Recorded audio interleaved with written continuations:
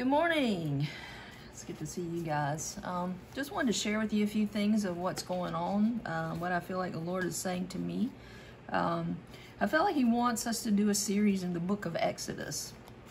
Exodus is a tremendous book in the Bible, and I really, uh, really do love it. Uh, it has such a story of you know, coming out of Egypt and going into the promised land. It's a whole long story. And as I prayed about it, the Lord said, no, you got to stop, start back a little bit before that. Because for to find out why the children of Israel were in Egypt in the first place, we have to go back to the book of Genesis. So I began to pull it up and, and study it a good bit. And uh, I felt like the Lord wanted me to start with the book of Genesis, talking about Joseph. Now, even before Joseph, we hear the story of Abraham, Isaac, and Jacob. And that's a tremendous story um, because Jacob is the one that actually wrestled with God and God named him Israel. He said, from now on you'll be called Israel. So that's where the name Israel comes from as far as the nation. He promised to Abraham that he'd be a father of many nations. He'd be a father of, of, of so many. It would be like the stars of heaven. It'd be like the sands of the beaches. I mean, Abraham had a promise from God that his descendants would go on forever and ever. But it started to come and track through the story of Jacob, which another day we'll go back and study that dialogue because it's such a huge story and God put a lot of effort for all that to be held in the book of Genesis from Abraham, Isaac, to Jacob. But I felt like right now, because of where we are in time, he really wanted on the focus on the book of, of um, Exodus. But to get to Exodus, because the children of Israel were coming out of Egypt, we have to start with uh, how did they get to Egypt in the first place? Because we know that Abraham, you know, went out walking and God said, I'm going to show you where you're supposed to be. And he had to go by faith and he was uh, he was a tremendous man. But the guy that it really started with is a guy named Jacob. Now, Jacob, um, he basically cahooed his brother out of his birthright and he had to flee for his life. So he ends up in a foreign country and um, ends up falling in love with a, a, a girl. And uh, she his his father-in-law betrayed him and he ends up after he gets married he ends up that his father switches out Rachel for Leah. So he has Leah then he works another uh, seven years for um, Rachel. But in that he ends up marrying both Leah and Rachel and then he has two concubines. Each of them had a concubine. Leah had Zilpah and Rachel had Bilhah. So out of these four women he birthed seven sons. And but his love for Rachel was uh, was the highest of all. That was that was his that was his love of his life. So he has two sons out of there. Joseph and Benjamin. But Joseph, um, you know, he is uh, he's the favorite child. I mean, I think it's because of his affection for his wife Rachel. But Rachel, um, Rachel loved, we don't know a whole lot about Rachel, but, but Jacob loved Joseph. And he ends up giving Joseph a coat of many colors. Now, when we uh, start looking at the story, uh, we can see that in the story that Joseph was 17 years old. And uh, he goes out, his father sends him out, says, look, I want to go check on your brothers. Now, most of these brothers were from Zilpah and Bilhah. They weren't from uh, from Leah. So those brothers out there keeping this his keeping the pasture. And before this time, Jacob had told them of a, a story about how he was out, um, how he had a dream. He was a dreamer, and he had the first dream, and he was binding sheaves, and he said, my sheaves stood up and upright, and your sleeves, sheaves gathered around me and bowed down to them. Now, sheave is like a cluster of wheat or something that's actually kind of out in the field.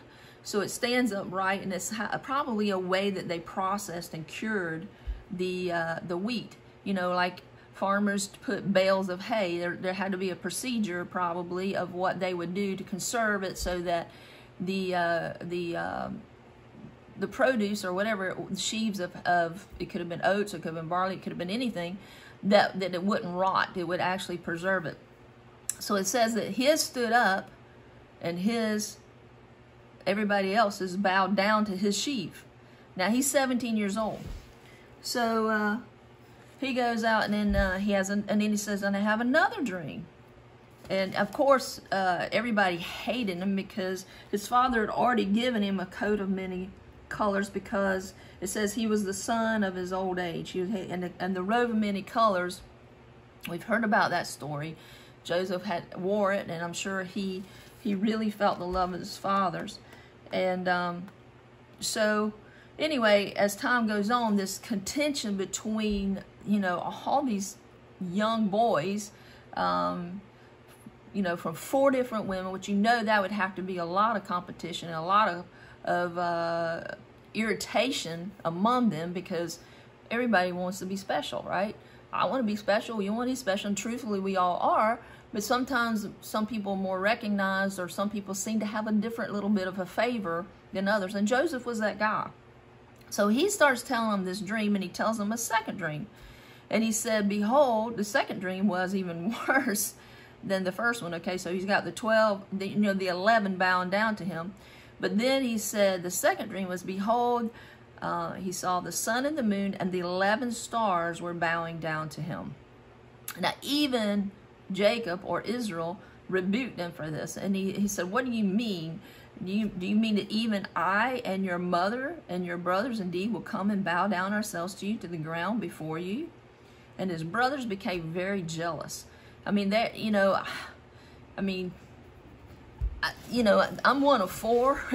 and, um, you know, there's enough little tension every now and then between us. I mean, there's, there's nothing left like having siblings because I think without them, um, we would not be near as strong or as uh, diverse or as able to communicate. I mean, it just kind of helps us rub, rub a lot of the rough edges off well, I'm sure Jack, Joseph, you know, when he has these dreams, he's trying to figure out what in the world's going on. He's feeling something in his heart. Oh my goodness, God's laid his hand on me. What do I do with it? How do I process this? Who can I talk to? And I'm sure he's trying to struggle with this. But as he shares this thing, it makes matters even worse. So there's a day that comes about, his brothers are out tending the sheep. And Jacob pulls him aside and said, I want you to go and check on your guys in the field to see all is well. So when you think about well, it could be several several different meanings. Are they well? And he meant, are they okay? But then you think about where Joseph actually ends up. Well, that well could have a different different meaning. So he goes out and he's 17 years old, and I'm sure he's got his coat of many colors on. He's going out there, and uh, this man found him wandering in the fields. And he said, What are you seeking? Because, I mean, I'm sure he's going around, you know, he's out there, doesn't know what he's doing, doesn't have a compass, he doesn't know road signs, no maps. I mean, we think, how did he get there? He didn't have GPS. I mean, we become so efficient with GPS and stuff like that. It's very difficult for, for us to understand that our era is a very small fraction of where generations and generations and generations lived with. Just for instance, of us having running water, indoor plumbing, or things like that, or a telephone, or you know, all those things, we think that mankind has lived with these conveniences, and they have not. They have, um, you know, gone out and tended sheep. That was their career. That's what they were doing. They were watching the flocks. And so this guy says, well, I heard, you know, when he asked him, he said, what are you seeking? He said, I'm seeking to find my brothers. So Joseph's asking this guy for some guidance, and he says, I heard them say, let us go to Dothan. So he heads out, and he probably said, okay, which way is Dothan? I mean, it wasn't like you said you just stay on this road until a certain mountain. You know, it was probably a little path. Who knows what it was? So he goes down there, and they see him coming. And of course, the attitudes begins to rise. So he says, Here he comes, the dreamer. Let's kill him. Let's throw him in the pit. And then we can say an animal killed him. Well, to me, I mean, those guys were saying this would be the end of our problem. I mean, this guy just gets on our last nerve. I mean, he's already favored by the father. You know, he probably gets the best portion of, of whatever's put at the table. You got 12 guys. Can you imagine sitting at a table with 12 guys? I mean, I have one brother, and I know that guys eat a lot more and and they come in, they're hungry and they're ready for this. But all of a sudden, you know, Joseph's always getting this favoritism. So that that's that that spurs on a jealousy, and um, but Reuben now Reuben, uh, he tries to come up with a rescue plan, and he goes, well, let's not throw him. We don't want to shed blood and throw him in the pit in the wilderness. And so he says, let's um, strip him of his robe. And uh, they took him away uh, and they threw him, and took away his father's endowment. So basically, his robe was an honor. And they throw him in the pit. Now, there was no water in there. But, okay, we read the story, but we need to feel it. We need to understand Joseph's in there and then they go out and start having lunch. The guy, there's brothers who are his flesh and blood, throw him in the pit. They want to get rid of him. They can't stand him. They hate him. And they're upstairs and up. Well, he's, he's down in the pit. We have no how, idea how big this pit is. And I don't know if you've ever been into something like that, but to get out of a pit would be very hard because there's there's not like there was a ladder there. There wasn't like there was a rope there how could he get in there? It could have been a snake in there. It could have been worms. It could have been spiders. It could have been nasty. There's no telling. It could have been the sun was beating down on him really hard. But his brothers are up above the pit talking this over like ha ha ha probably laughing saying you know we got rid of this dreamer guy. We got rid of this guy that has the coat of many colors. Now we can go on with our lives but we got to figure out what we're going to tell our dad. So they they take his robe and they decided that they would put blood all over it and tell him, you know, that that you know apparently a um, a, uh, a wild animal must have ate him. So they're eating, and when they're eating, they're they're enjoying their their conquering of their sore in the side, and they're saying, you know, I just really. They were kind of celebrating that, you know, this this rub was gone. I mean, it was going to be handled now.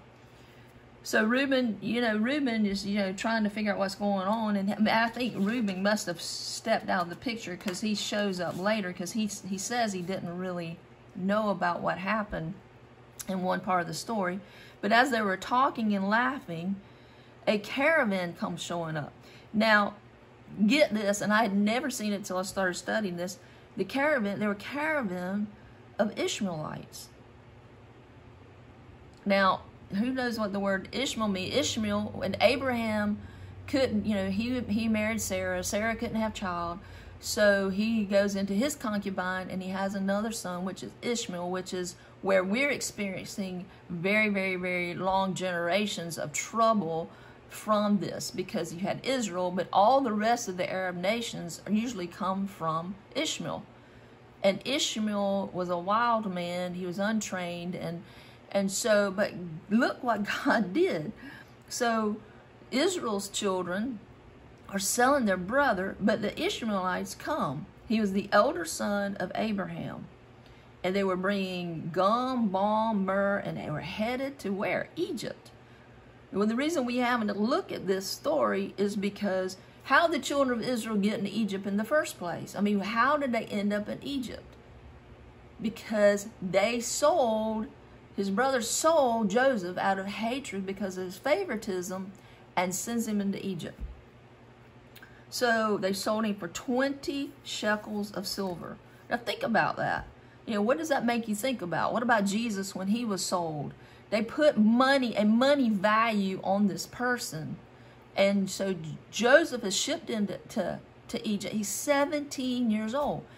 Now he's he's he's he's trying, he's on process overload. I mean, he's trying to say, oh my goodness, all these dreams, what the heck is going on? What is going on inside of me? Why is there such a, there's such a clashing of two things. It's favoritism and hatred at the same time. He's favored by his father. He's hated by his brother. He's smashed, smashed, smashed, smashed, smashed and he's trying to go, you know, God, what do I do this? I, I understand the dream had to come from you, but how do I develop this? How do I withstand this complete squeeze, this pressure, day after day, the beating, the beating, the the the struggle of you know, I saw this dream. I know you, you're going to raise me into power, but this is not looking good. This is not the way it's supposed to be. I thought it was supposed to be that I was supposed to have a smooth sailing. I thought that when I arrived at this place, the red carpet was going to be rolled out and the bands were going to play and we are going to they're going to say oh joseph is here joseph is here but that's far from what happened so they the ishmaelites which would be his distant cousins in a way kind of it's really cool that they came into the picture because it would have been his uh, great granddaddy's son, which would have been, uh, you know, a, a, I don't even know how to say it, would have been, a, mm, I don't know exactly how to, to trace all that, but anyway, distant relatives that comes along oh, just happened so. No, I believe that God had this happen so that Joseph could be put in the exact spot that Joseph needed to be in because God has a massive plan for each of us. You know, we like to think, oh, I just, you know, my life doesn't count.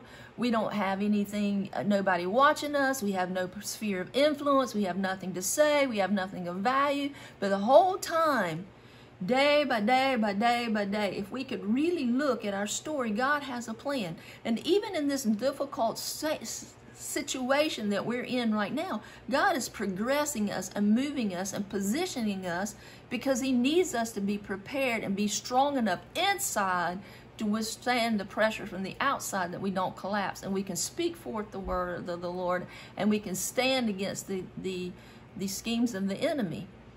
So what's happening here in this tension of jealousy and all this this dynamic God is working in each person something that he needs worked in because he is a loving father and he he really wants us to mature to be like Jesus. And we say, "Oh, I want to be like Jesus is great. Jesus is great."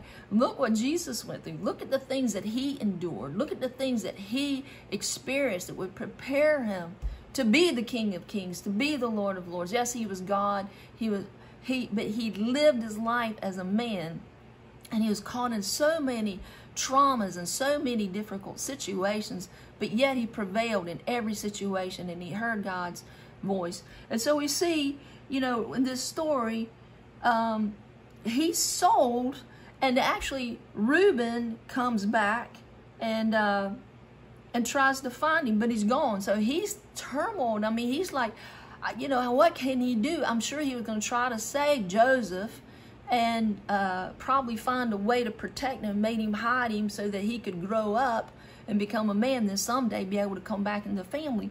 But Reuben is also, um, you know, devastated. And what are they going to tell? What are they going to say whenever they tell Isaac?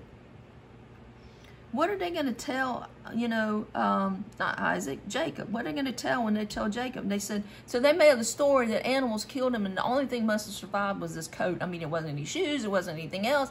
It was the, the coat. And they covered it with the blood of animals so that it would look like he'd been torn to pieces. And so from that point on, Jacob goes into a massive level of, of grief because it was his favorite son and it was the one he loved and so he's separated living all these years wanting to know what happened to him. So the Ishmaelites, they got him on their caravan. So they're walking in. And who do you think that they, what did they do with Joseph? Did they keep him? Did they say, hey, you're a distant relative, we're going to help you, whatever? No, they sold him to, uh, to Potiphar. And he was an officer of Pharaoh. Matter of fact, he was the captain of the guard. So, in a way, this 17 year old young man is caught from from this episode of going to check on his brothers. His brothers hate him, and then he ends up in Egypt, sold to Potiphar, who is the captain of the guard of Pharaoh. Now, in other words, this guy was a pretty high rank, and and there's other stories we'll look at later, but I don't really want to get into that at this moment because I don't want to make this video too long. But this is the beginning of the fulfillment of what God had intended for Joseph and for his brothers. You know, we think that our enemy is is is our enemy and they are, but because of God being able to work all things together for good, you know, he he can work out things that we have no idea he's working out. We don't we don't understand the ways of God. Matter of fact, I drew this little tiny diagram here.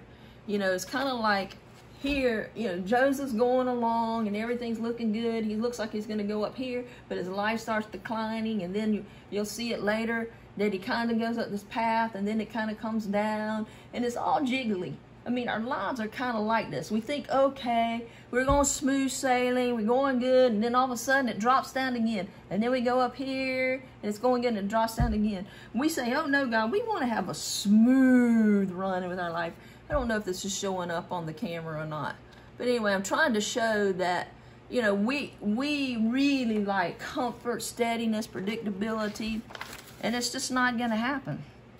It just doesn't happen that way. So I thought of another scripture that I'm sure that Joseph, I mean, David wrote this years and years later, but in Joseph's situation, so here he is at Potiphar's house, torn completely away from his family, in a foreign country, in a foreign culture.